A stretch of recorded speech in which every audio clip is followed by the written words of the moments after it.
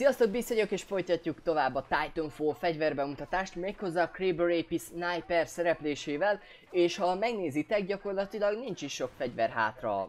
Nyilván ez függ attól is, hogy beleveszem a Titan Anti-Titan fegyvereket is, de alapvetően márciustól júliusig egy 5 hónapos szekció alatt maximum lerendezzük ezt az egész fegyverbemutató témát, de ha visszanéztek MV3-ba a Black Ops 2-be, ott egy egész évadon át csináltam, úgyhogy már a végére eléggé besűrűsödtek a részek, Nyilván ebbe a játékban nincs annyi fegyver, mint bármely más FPS-be, de azért a szabadidőmhöz képest viszonylag sokat is Titanfall-oztam, ennek is köszönhető, hogy gyorsan végig tudunk szaladni, és végeztem a vizsgáimmal, ami azt jelenti, hogy úgy gondoltam, hogy mi lenne, ha egy ideig ilyen 100%-osan rákoncentrálnék erre a YouTube csatornára. Kíváncsi vagyok, mit tudok kihozni magamból. Most a tervezési fázisban vagyok, úgyhogy addig még készülnek a videók, még meg szeretném tervezni a nyaramat, milyen videókat csináljak, ötletelek, illetve hogy osszam be a napomat, milyen eszközöket szerezzek be. Tehát még ezen nagyon erősen gondolkozok, addig készülnek a fegyverbemutatók természetesen. Ezt csak így meg szerettem volna jegyezni, még lesz ezzel kapcsolatosan update. Ez csak azért mondta el, hogy kicsit húzza a videót, mert alapvetően sok jót, sok rosszat nem lehet erről a sniperről elmondani. Tényleg egy passzentos fegyver ebbe a játékba, úgyhogy bele is vághatunk. Mikor a Respawn Entertainment nyilvánosságra hozta azt a tényt, hogy Titanfall gyakorta ugyanolyan fegyvermechanizmussal fog rendelkezni, mint egy átlagos Call of Duty rész, így például sokan támadták a Quickscope mechanizmusa miatt. Ugyanis a kodrészekben ez a játék elem eléggé egy sarkalatos pontja a sorozatnak, ugyanis MV2-ben támogatták a Quickscope-ot, Black Ops 1-ben nem. MV3-ban támogatták, Black Ops 2-ben meg hát kevésbé.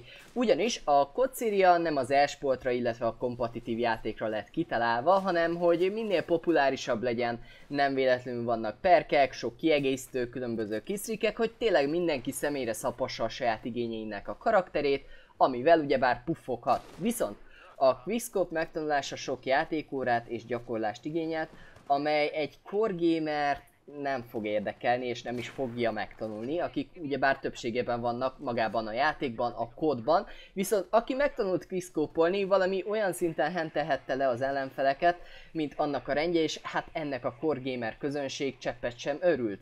Én például legutoljára az MV3-ban éreztem problémának a snipert és magát a quickscope ugyanis mikor hat emberből hat azzal játszott, és tényleg nagyon jól, akkor igen kellemetlen volt játszani ami kellemetlenséget nem engedhet meg magának a játék, a kod, ha arra van tényleg kihegyezve, hogy mindenki jól érezze magát, tehát ezért egy vízválasztó téma a Quickscope. Viszont Titanfall szerintem remekül hidalt át a problémát a Kraber AP szereplésében, ugyanis ez az egyetlen one shot, one kill képességű sniper a játékban, lehet vele akár quickscope is, viszont késleltetett becsapódása van a lövedékeknek, ami azt jelenti, hogy közelre igazából ugyanúgy használható, mint egy kodrészben megszokott sniper, tehát akár quickscope is, ha ügyes vagy, de azért azt megjegyezném, hogy az esetek 20%-ában fordul csak elő, hogy közel legyen az ellenfél, és te sniperrel akarod őt megölni. Viszont ha közepes vagy hosszú távon szeretnéd eltalálni az ellenfelt, akkor nagyon ügyesen ki kell találnod, hogy hova fog becsapódni a golyó,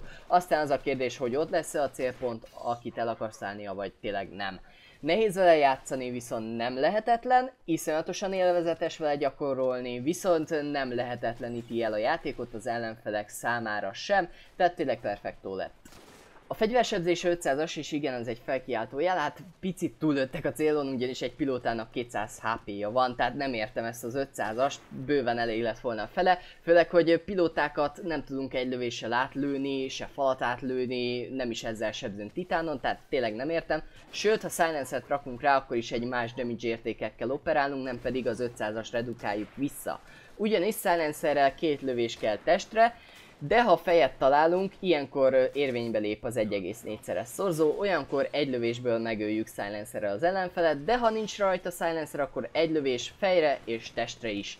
Viszont Titánon 100-at sebzünk, Rodeóval pedig 900-at eléggé tisztességes, de eléggé lassú is a fegyver, tehát viszonylag sokat kell az ellenfélbe, vagyis a Titánba lőni, illetve kritikus sebzési ponton 200-at tudunk sebezni a Titánon.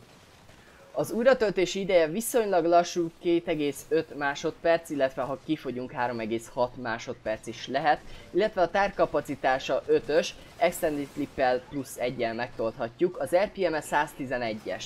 Nos, ez egy bolt action tehát forgótolózáras, vagy valami hasonló kialakítású fegyver a jövőben, így viszonylag lassan tudunk vele játszani, és ami engem idegesít, hogy mindig ilyen nagy hévvel húzza fel, és ilyen hatalmasat rángat bele, mint valami Rambó, hát ez, ez, ez engem kikészít, főleg, hogy a tár így oldalról csúszik be a fegyverbe, ez is ilyen boomsli és sokat kitakar, de szerintem ez is például a balansz része, hogy ne lássunk annyit vele, Na mindegy, one shot, one kill, szerintem ez a táblázat magáért beszél, illetve nem sok variációnk van, hogy mivel használjuk. Ami fontos, hogy egy megbízható másodlagos fegyverünk legyen. Nekem a B3 Wingman jött be, mert távolra is, közelre is pontos és erős.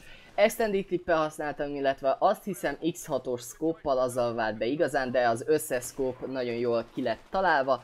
És hát még van a stabilizátor, ami arra hivatott, hogyha belenézünk a scope akkor kevesebb a ringatózás, ugyebár a sway, de szerintem nem éri meg. Úgyhogy ennyi lett volna a Kraber AP, köszönöm a figyelmet, sziasztok!